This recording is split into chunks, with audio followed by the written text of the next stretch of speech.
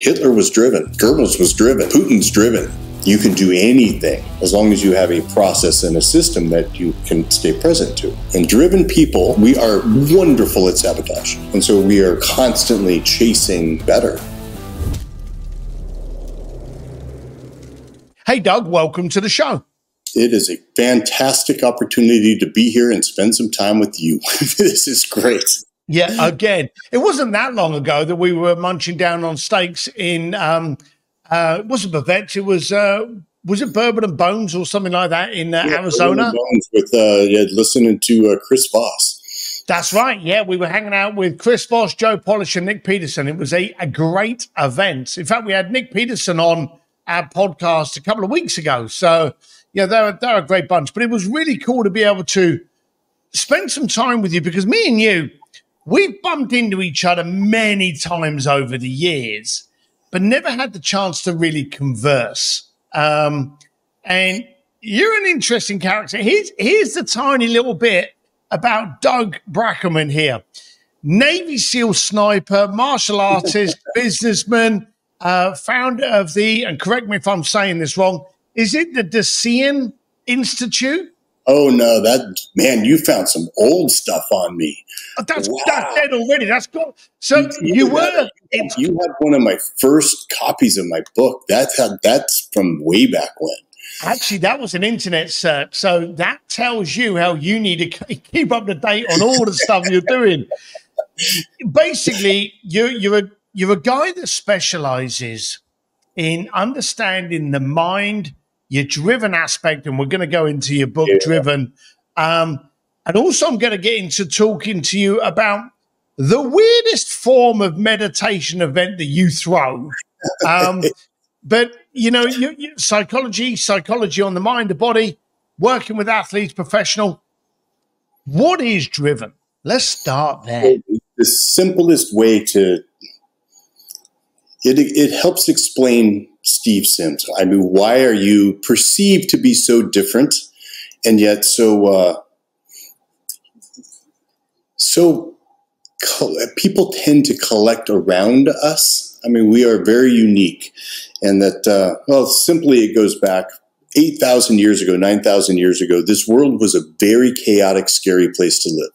Saber-tooth tigers and woolly mammoths and um, but then the agricultural revolution turned this world into a, a very safe, simple, predictable, boring place. And most of the human species adapted to that. And they, their, their brain structures adapted, more importantly, their reward systems adapted to that, their risk tolerance adapted to that. And our our genetics. So three percent. Daniel Amen says two. I say probably closer to seven. I say in driven probably ten, but it's really somewhere between two and seven percent of the general population retain the original hunter genetics and brain structure. And so one of the early authors about this was looking at this, and his kid was ADD, ADHD, and he was saying there must be a good reason that these this variant of the human species is popping up so frequently.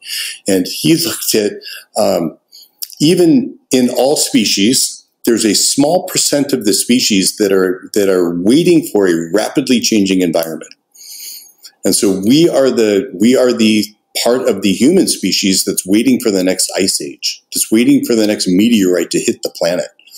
We will figure it out and we will survive. We are designed to live in a chaotic, hard charging, difficult world. And so hunter farmer theory is what's come out of that. So it, it, you know, what differentiates us as most is really the brain structure. So you put most people in a functional MRI, they have a nice ball of energy right here on their left prefrontal. It's called the executive function. And so they have a single thinker in their head. They have one person in their head that is talking, no one listening. And so they, they have a very, and if you think about, you know, cultural anthropology and, and what happened with the agricultural revolution, we went from little hunter gatherer groups of maybe 15, 20, 40, 80 of us at the most into these massive societies.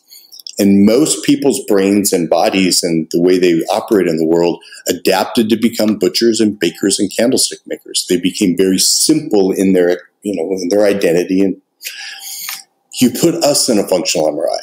And you include you in that, Navy SEALs and a bunch of professional athletes and entrepreneurs in particular. The back of our heads light up.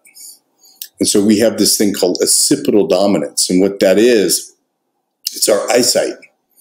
That's why we or you can walk into a party and actually scan the room so quickly and things will pop out to you that other people don't see. And so we walk into a business and you look at a spreadsheet and that doesn't look right. And that, um, to help us navigate this very complex world, we have something called hypofrontality the defining feature of ADD. So rather than a little ball of energy right here, we have little dots of activity all over the frontal lobe. And so we, we can multi-think. We can track multiple targets at the same time. We can consider finance and, you know, operations and marketing and all of these things simultaneously. And, you know, we try to explain that to people with, you know, executive functions. We can't believe they don't, like, why can't you get this? and they can't follow our tangents. So we are really, really different. Um, the reward system is the thing that first clued me in on this when I started my graduate work in 1991. Um, the dopamine system in the brain is the reward system. So it's anticipated reward. And so most people, 95% of people, are very tolerant of very stable, predictable environments. When we are put into those stable, predictable environments, we experience something called boredom. And put me in a cubicle for eight hours a day and have me do TPS reports. I'm going to put a gun in my mouth within a couple hours because it is it is this unbelievable angsty, impendi doomy kind of drop in my dopamine system that really makes me, I, I do not tolerate it. And so it is a, you know, if you think about farmers, they are wired to sit around and watch shit grow really slowly. and then when it grows and they, you know, get to harvest it, they save their harvest. They're very, very demanding that what we did last year is what we're going to do this year. They're change intolerant. They, they just live, you know, and they're well suited to living in a cubicle, waiting for their 3% raise every six months. And it's just not us, you know, and that's the running joke. You and I are both unemployable. we are truly, we can't have, we can't have a boss. But the other interesting genetic that seems to go along with this whole constellation of personality and brain and reward is the dopamine receptor number four. And that, that's the wondering gene and so that that's the FOMO gene. So it is this feeling that the, there's always going to be more woolly mammoths over the next hill. And shiny object syndrome. It's like, oh, I can't wait. Grass is greener over there, over there, over there. What gets us in trouble, if it's going to be great over there, this sucks. And so we are constantly chasing, you know, better.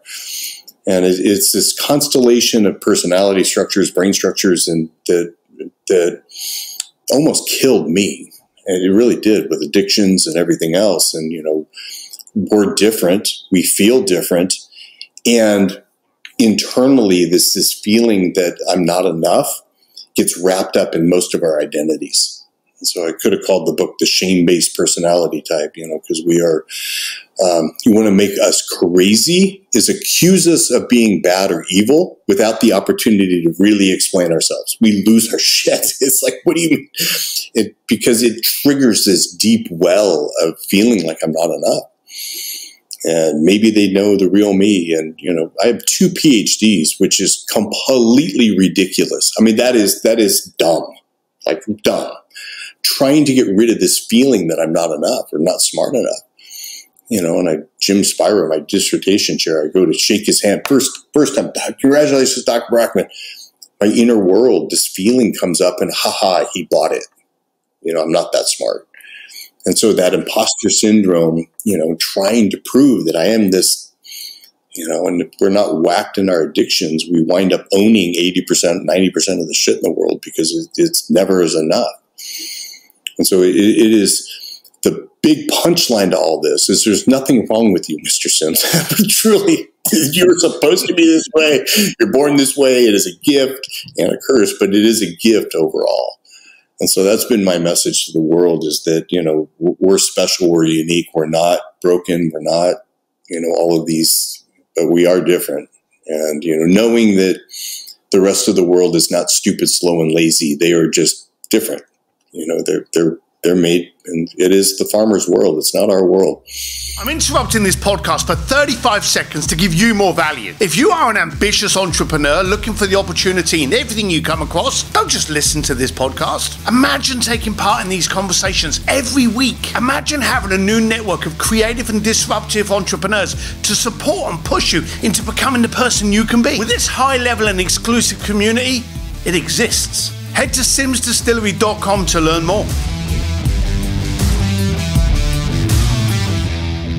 Now, the funny thing about what you're saying there is you're saying that we're different, but you're also saying that we're very akin to, you know, three to seven percent of, of, of people. So it's a case of there are some, this is probably why we keep on bumping into each other and probably why we keep on bumping into the same rooms as, you know, Roland Frasier, Jason Gaignard, you know, Joe Polish, Chris Foster. We, we end up finding those areas of people that are like us and we end up coming back to those villages where we can go, hey, it's not us, it's them. So, one of the questions I'd like to know uh, is as a SEAL sniper, were you questioning this before becoming that sniper, or was it during so, or post you, you, Yeah, you need to follow up on the research. So, Randy Kelly was the he was my Bujinkan instructor. He was my martial arts instructor, and he was opposite Chris Kyle as a Navy SEAL sniper. Oh, okay. And he helped me. He and I. So I, yeah, I, I was going to go military, and then I found out what those poor people get paid, and I went, no way, seriously. Yeah. I'm going to go get shot at for 60 grand a year. It's like, oh, hell no. But he and I, I mean, this is, this is, you know, I was trying to, so you talk about my, you know, horrible internet presence and, and it is really, you know, my imposter syndrome was a big part of it. But he and I, you know, I've been a long time, long range competitive shooter. I compete 600 yards and 1,000 yards, you know, big, big guns. And he and I were sitting around, you know, bullshitting one day, and it's like, you know, I'm trying to rebrand myself, trying to get away from being a psychologist, you know, touchy feely guy. Um, and I said, you know, well, what happens if we pair meditation with long range shooting? Yeah. And he went, yeah, you got it. And so he's a fourth degree black belt in, uh, or sixth degree, sorry, Randy, um, in Bujinkan. And he'd go back to Japan. And so he's really into this stuff. And, and we just came up with this, this wild way of actually understanding how the human brain body work together. And in particular, sabotage. And driven people, we are wonderful at sabotage.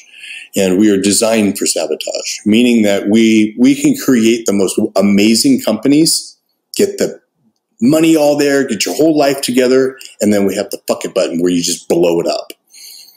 And why is that? What is what's going on? My doctoral dissertation was about it. And why does January suck at the gym? Is because one part of the the operating system, the monkey mind, has got a you know a monkey up there that thinks it can get six pack abs at 56 years old. But then my the the body and the, this thing can imagine great worlds and, and fantastic opportunities to make a ton of money. This thing wants a familiar world. And so lottery winners are the greatest example of that. You know, three years, five years after winning the lottery, it is the worst thing to happen to 87% of people. Because, you know, I've seen it tens of times. You know, entrepreneur has a nice exit, 40, 50 million dollar exit. Like, wow, I never have to work again. Six years later, it's like, what the hell happened? I got four million bucks back and a bunch of pissed off people around me because, like, what happened? And so it is this ability to actually catch that and see the difference between these is, is really the core tenet of making this horrible thing of being driven, you know, being an outcast and being different and into the greatest gift ever. Because we have unbelievably special skills of, of hyper focus, of really being able to multi think and solve problems that other people are just baffled by. But being able to catch your sabotage. So the simplest way to say that the, the gift of that shooting meditation is really the flinch. And so you go to shoot a gun, and I shoot. We have some really big guns. I got a. It's bigger than a 50 cal. It's called a 375 CheyTac, just massive like cannons. Um, but this capacity to hit a target at a thousand yards, relatively, you know, first shot, wow, I got it. Second shot, bing, you got it again. That third shot, the the desire to hit the target, particularly for driven people, becomes overwhelming. And you get completely obsessed with the results. And you lose the process. And so meditation is really about catching this other operating system. And you go to anticipate pulling the trigger on one of these massive guns, your your body tenses. It's anticipating a future event. It's not being in the present. And so there is no recoil in the present. And so the more you can take this, this hyper focused gift of, of, being driven into the present, and it's a, the greatest flow hack you've ever had because then you can do anything as long as you have a process and a system that you can stay present to. And that sabotage melts away. You forget about the results. You just stay in the present. And I mean, I've, I've seen, there's a story in Driven about a, a, a woman that uh, she was an Olympic snowboarder, badass. And she went her turn at the gun and we we're, you know, shooting five rounds. And she coming back from the shoot hit it four out of five times. And she, as she was getting back to her cushions to meditate, 20, he was 22 year veteran Navy SEAL sniper. Badass dude. I mean, he knew, and she, she puts up four fingers to him and pumps her fist like this. And he went, fuck. Because it's no joke to hit it. He promptly got up to the gun, missed it the first shot, and hit it, hit it, hit it. And that fifth shot, he was so hell bent, he had to hit and it had to be as good as her. His body, it was impossible for him to become present to it. And so that capacity to really see how that's called ego, and this I am the result rather than staying in the present, um, is where driven people just blow it up. And it, it, it's a, it's, it's, I mean, it, it's a very powerful experience. It's a blast you need to come do it. Yeah, I got told about it, and I know you were talking about uh, a mutual friend, Jason Gaignard, getting involved. Um, and then I obviously we were hanging out, having having dinner and stuff. And I started looking this up. The, the whole correlation between shooting a rifle and meditation. At first, I did not see the connection, but then as you're speaking about being married to the result rather than the process, um, that does become a lot more. And yes, I would. When is your next one? Let's give it a shallow plug. When is the next one? I've got a couple dates coming up in yeah, like three weeks, and then another one in uh, October. So I run them September, October, November um, in Ohio, and we shoot out to a mile. And so shoot out to a mile. Mile, yeah. We start at 300 and 600, and then 900, and then everyone wants to shoot a thousand. And then I got it. There's a my favorite target in the United States is the one mile IPSC target. So it's a standard size body target you can't see it with the naked eye. And it, yeah, and it, it's uh, about a, a 42 foot drop in elevation. The bullet is going up 42 feet and then down. And in a good crosswind, it's crosswinding anywhere from 8 to 15 feet. And so you're basically lobbing these things in there. And I've gone, I've seen multiple people go three for three at a mile. And it is your your monkey mind cannot believe you can do it. You well, can't. we know we've already discovered that you're, you're crap with the internet. But where would people actually go to actually find out the details of, of this event? so talking about Jason Gaignard. So my story in 2017, 16, somewhere in there, um, I had Jason and Clay Hebert came to one of my meditation shoots. Yeah. And they were sitting around at the hippie circle at the end, talking about the emotion and the feelings, and I can't believe I did it, and people crying about how amazing it is. Um, and they're waiting for the mastermind pitch at the end and come work with me pitch and all that. And I got crickets, man. I didn't even have a web page, and so it was. It, it's. I'm finally being drug, and that's why I'm doing these podcasts now. I'm being drug out of the corners, and I was working with a bunch of pro golfers, and I've had a bunch of pro golfers behind guns, and um, yeah, it it it typically takes three strokes off your uh, putting. You know, you go from a 25 to a 22 putter, man. It, it's it's yeah, it uh, there, it's a hitch in golf. It's called where you're anticipating the result rather than just allowing the body to. And I so, but I've been drug out of the closet now, and I'm I'm everything. What's the site? What is it? Is it I am driven? Is that the, I is that the web? Driven, I am driven.com. And I've got a couple things going right now. Something I'm really excited about is I'm really trying to crack down on what it means to be driven. So I hear this, oh, it's just a rebrand of ADD. Uh huh, it is. But what's ADD? Well, it's a list of symptoms.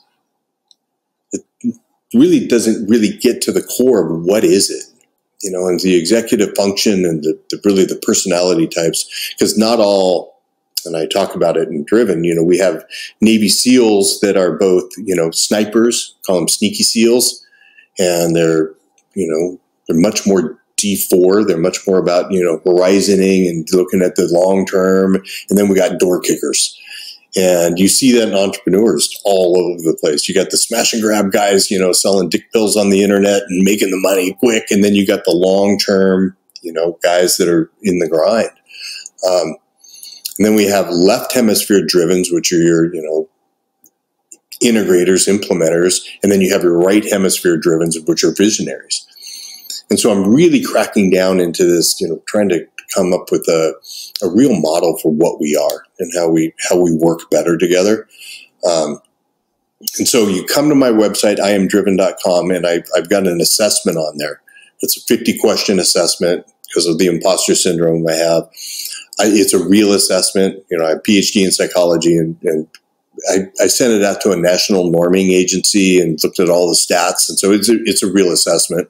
Um, and it, it has the national average on there. You know what what it looks like to be normal, and most people are so different than that. But it shows you the ten different categories that we typically vary on. And then I'm calling it a driven lab, where I'm going to integrate the Myers Briggs and your Kolbe and your IQ and all of those things in to create a, a basic dashboard for what it looks like to be you and how you compare to other entrepreneurs and and how how we work well together in some circumstances and do we mix oil and water in others you know and you you Is see that, that help us is that going to help us with the fuck it button that you talk, talked about when we know? Because the first thing about an entrepreneur to really excel is to first of all look inside and see, you know, yeah. what damage they're carrying. Because a lot of us, a lot of us entrepreneurs, you know, we, we're, we're, we're weird fuck ups of, of people um, going yeah. about going about life. And it, it is. well, that's that's classic behind the gun, and so you know, left hemisphere drivens, right hemisphere drivens. Know, that's Carl Jung, and just it handedness is, you know, people are tend to be right handed versus left handed. Doesn't mean you can't use the other. Mm-hmm. But right hemisphere drivens, which is the emotional driven, we have the fuck it button, where what we get when we get to a certain point of frustration, fuck it and blow it up and screw it and where left hemisphere drivens struggle tremendously with analysis paralysis. And so they, you know, when you get stressed, they think and think and think and think and think and think and, they're scared to pull the trigger. And so you see these differences, and that is, you know, very insightful. If you're a left hemisphere driven and you're overthinking something, what do you need to do? Come into yeah. the feeling realms. And if you're about to press the fuck it button, think, think, think. so that capacity, though, to catch it is called emotional intelligence and that that that is the core of what I, all of this. The once a driven masters and mastery, you never get it perfect, but you you start to figure out the emotional impulses that are coming before the action. You know, that's my joke. Of, and emotion has never gotten me in trouble. You take the E off and turn that shit into motion, big trouble. Mm-hmm. And so it's all that pause, and in that pause is where the magic happens. And so it, it's, but driven, we are we are really important to the world. You know, so I, have got another book coming out. Um, and I, I, go back to second, third grade. I didn't, I didn't understand why the rest of the class didn't see how stupid the homework was. Like, why? What are we? What are we doing here? It's waste of time memorizing like states and shit. Well, who cares? Um, everyone else in the group seemed to just be going along with the narrative. You know, school is good and you get an A. And you know, Joe Rogan is a great example of it. You know, like why can't people see what they're doing with Kamala Harris? I mean, six months ago they hated her. Now they're pitching a narrative that she's the greatest thing in the world, and why why can't they see it? And most people, 65, 67% of people on this planet have a single single monkey in their head. They have this single thinker in their head and they're they are hell bent on keeping the narrative their truth. They don't have this insight. They can't step out, multi-think, and go, well, maybe that's not right. You know, and that's, that's the other. You know, we are human bullshit detectors. We see right through people's narratives, and so you know, the next book is really a, a looking. Well, driven was much more about how it's a blessing and a curse to you and this next book is how it's a blessing and a curse to the world. I mean, and, you know, Hitler was driven, and Goebbels was driven, you know, Putin's driven. And these guys are, you know, a lot of Washington is driven. These guys are addicted to power and addicted to money and addicted to, you know, manipulating. Fauci's driven, clearly. What's the narrative we can pitch to the public so they take the shot and I can make 79 bucks a shot? It's like, you know, but we are actually, you know, the ones who are going to actually just stop it and change it. So I think I think it is a real call to action. You know, that, that those of us that can see the truth, that you know, we say something. So look, you've got your website, iamdriven.com. You've got the assessment on there. You've got the book on there, so you can grab the book. How long do you think before the next book's coming out? It's in edit. Um, yeah, I can analysis paralysis the crap out of it. So it's in the works. It's been, it but it's it is cover to cover written, which is the hardest part. Now I'm just moving paragraphs. What's it called? It is sheep, wolves, sheepdogs, and the shepherd. All right, so you heard it first here. This is coming up. You're gonna, I take it you're gonna you're gonna put a link on it. Now, obviously, you've got to get uh, your ass in gear regarding your internet presence, but you know you're going to put a link on there, probably on the I Am Driven website as well. Correct? Correct. Yeah, and I've, I've literally just hired. I've got I got four people on my team now, so it, it's happening.